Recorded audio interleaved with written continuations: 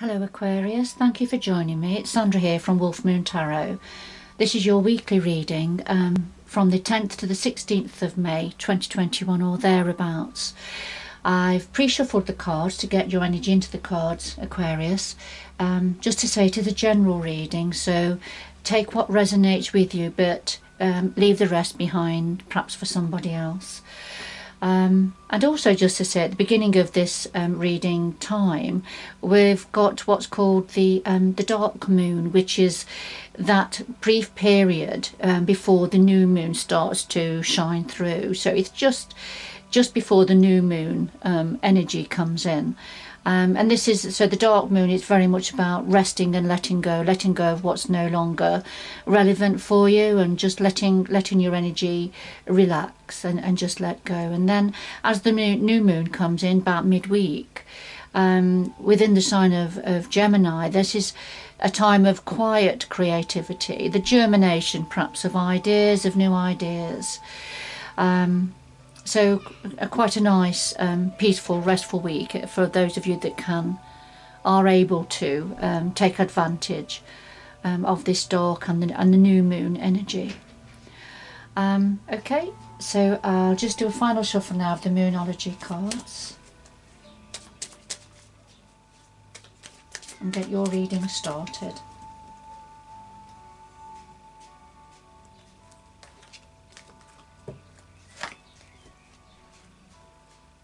And a final shuffle of the Oracle of Visions.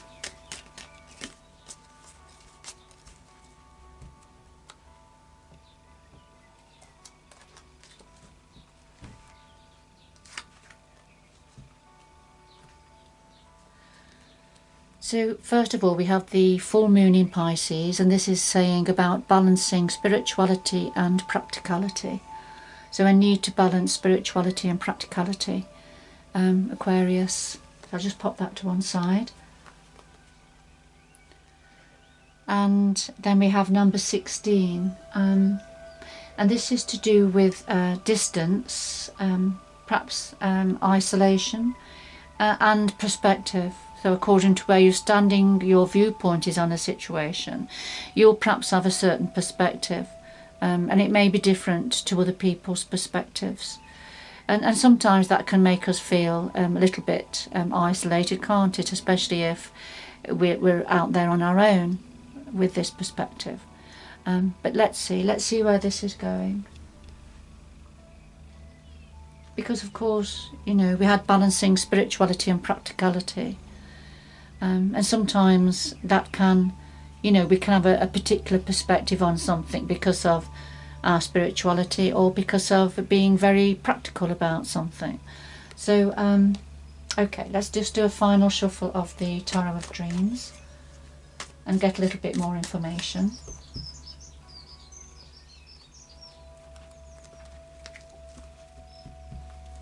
So we have the heart of your reading, um, what's on your mind at the moment, root influences, past influences, um, future going forward, and then just something else that your guides or your energies would like to say to you at this time.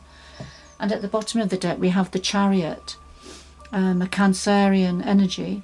Um, but this is very much about taking the reins now and, and charging forward. I feel it's to do with emotions also here because we see the chariot charging through the waves, the quite big waves here. So taking, managing your emotions at this time, taking control as things start to um, go forward quickly. So a final shuffle of the Light Seers Tarot.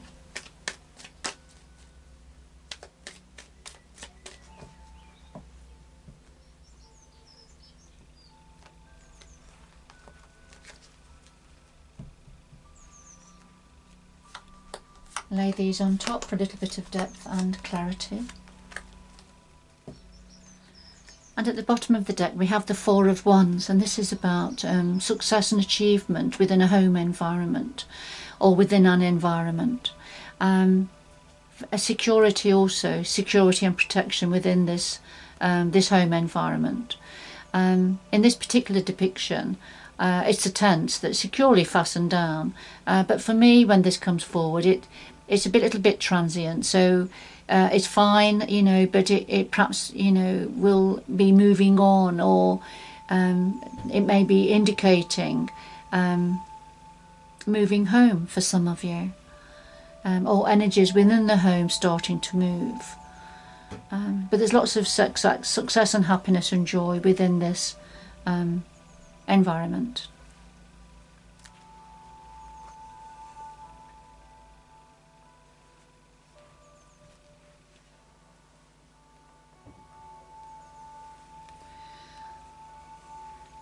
Right, so at the heart of your reading, we've got the star here as a clarifier, and this is your energy in the major arcana Aquarius. So you've come out here, right, in the, at the heart of your reading, um, as a clarifier for the Six of Wands.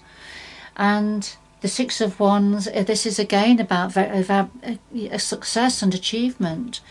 Um, after many battles, perhaps um, hard, hard won, hard fought, um, success and achievement, and, and being acknowledged by others around um, of how far you've come.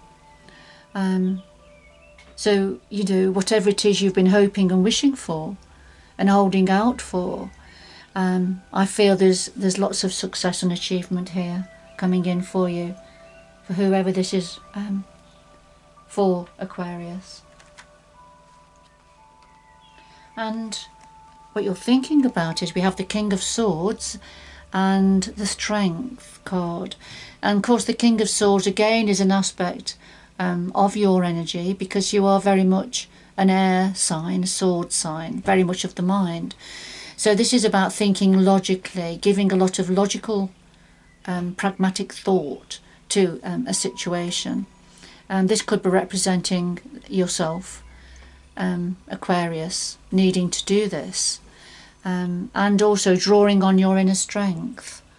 So you know we've got the um, the lady that is very caring and nurturing of the lamb. She's wearing her heart around her neck there.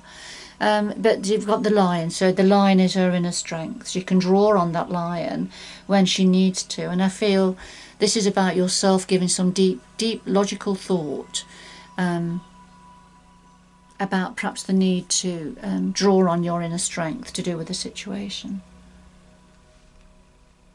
or, or you may actually be thinking about um, where your strength lies. So let's see. So at the root of the situation, we have the Ten of Cups and the Nine of Cups. Um, fabulous energies. So the Ten of Cups, this is about um, lots of love and love and happiness and joy, contentment within a family situation. Got the family dog there, the family very happy, lot of prosperity also within this family situation over over long term. And it's a wish fulfillment. The nine of cups is a having all of your wishes come true. Um, the treasure chest all of the cups leaping for joy. So a lot of happiness and joy um, at the root within a family situation at the root of this, um, leading on to a lot of success and, and your hopes being fulfilled. And of course, we had the joy and celebration within the home situation. Um, and then taking the reins as things are just starting to go forward quickly and managing your emotions. But there's something here that hasn't revealed itself. It's something about perspective. Um, so having a particular perspective, perhaps, you know, according to where you're standing, your viewpoint, um, how you feel about something may somebody else may feel different about it, and you so you may, it may make you feel a little bit in isolation. Um, but let's see, let's see what else is going to come out because there is something about the need to balance your spirituality, your spirituality with your practicality. So, past influences, we have the Ace of Wands and the World. So, um, in the past, there's been a, a build up. The Ace of Wands, in its purest sense, is about new, very creative, passionate um, opportunity or growth. Um, but within this particular depiction, we have the volcano in the background. So, something building um, starting to erupt. So a passion, an energy, a passion of some sort, an energy of some sort, building and starting to erupt here. Um, and a completion. So something, so this Ace of Wands energy, whatever it was to do with, is a completion here. Um, that cycle, a cycle completing, a cycle of a build-up of passion and energy. Um, but that's completed in the past. That completed, ready for going forward, uh, anew, afresh, in a new, a new direction, perhaps.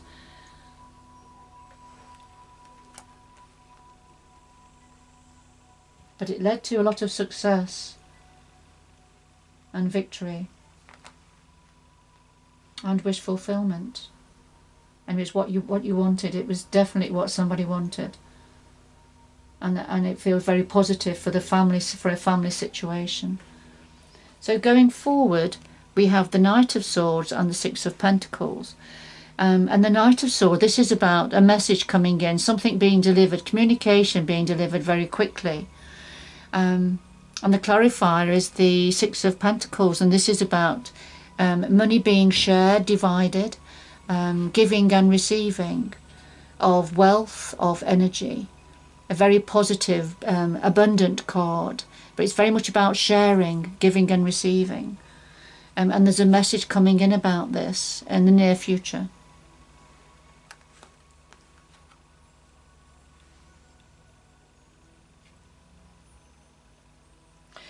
Now, this is something else that um, your guides or your angels would like to say to you at this time. So, we have the Eight of Wands and the Queen of Wands. So, we've got some more Wands energies. We've got quite a bit of Wands energy in this reading for you, Aquarius. And Wands, of course, are about creativity, passion, movement, and change. Um, fire is fire energy um, exuberant, exuberant energy. So, because we've had the Four of Wands, didn't we? We've had the Four of Wands, the Ace of Wands, the Six of Wands here. Um, and now we've got the Eight of Wands and the Queen of Wands. So the Eight of Wands, this is about um, communication coming in, um, events moving forward, and but I feel messages coming in very quickly, very um, energizing messages that are perhaps going to bring in some form of um, change, information about change, movement. Um, and the clarifier is the Queen of Wands, and the Queen of Wands is um, she's a very entrepreneurial energy, a leadership. She has a leadership quality. She's a born leader. A lot of fire and energy. Um, she holds fire and energy in the palm of her hand. Look, and she celebrates. that This is something to celebrate. This is perhaps a creative. This is perhaps what this creative new idea has been. Um, this has been around, and it's a celebration of that, um, and taking it to the next level.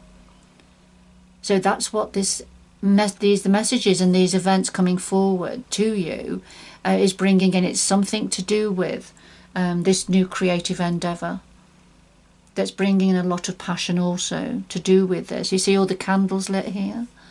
And, and it's a celebratory energy here.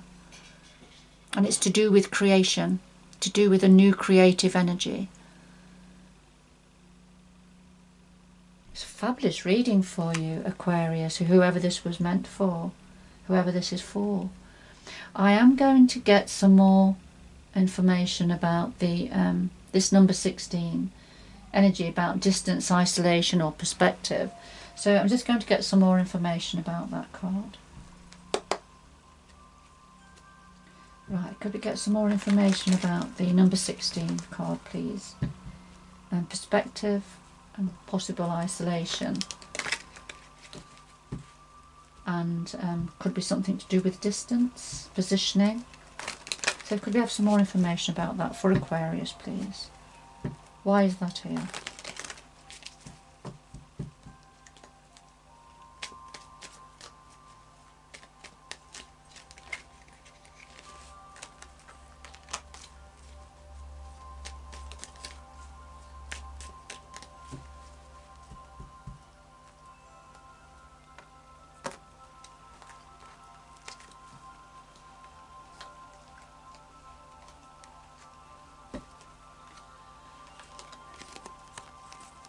All right, Aquarius. I think we've got a little bit more information now about the number 16.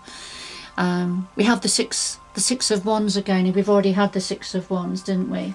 Which came out right at the heart of your reading, which is achievement, success, victory, hard won.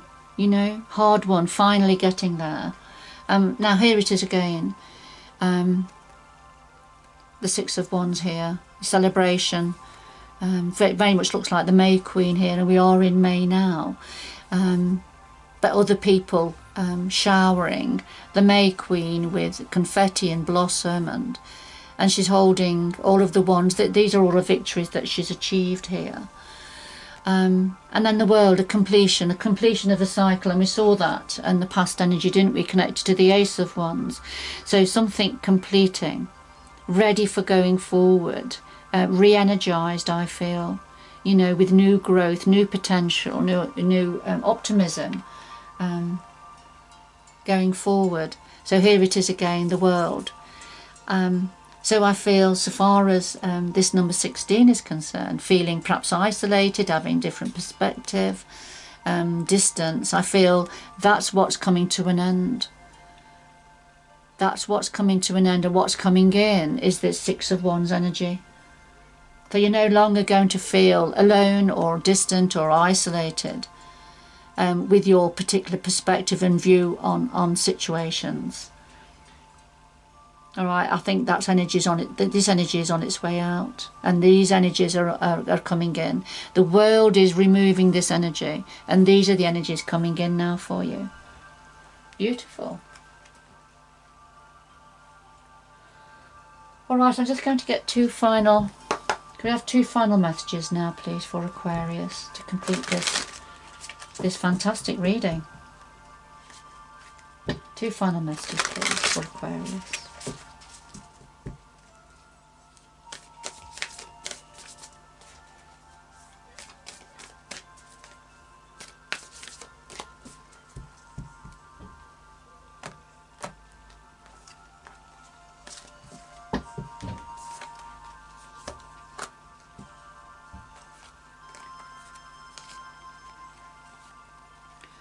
So the final two messages we have watching clouds, so lie back, rest and relax, which links in very much, doesn't it, with the black, um, the black moon and um, new moon, brand new moon energies that I was talking about at the beginning. So after a lot of hard work and achievement, it's just if you can, lie back, rest and relax, and watch the clouds go by, you know, and read a book, have a cup of tea. It's that sort of an energy. Beautiful. Um, and then we have uh, the desert passage. So whatever's been happening, trust that there's a divine plan, you know, a divine plan to guide you through this desert passage. Um, so whatever challenges come your way, you're going to have guidance. You're going to be able to find your way um, through through this desert passage. Um, it's being signposted for you, and it just, the energies just want you to trust that there is a divine path a divine plan um, laid out for you, Aquarius. But, you know, enjoy these very positive energies while they're here. All right. Uh, after a lot of hard work and battles hard won, um, it looks like there's a, a time of success, celebration and achievement coming in for you. All right, Aquarius. Um, thank you for joining me. I hope whoever this is for that it's given you some information, clarity and a little bit of support perhaps on a situation that you're in. It's a very, very positive, um, optimistic reading. Um, so good luck going forward. Enjoy this time and um, I hope you can join me again in the future. Bye bye for now.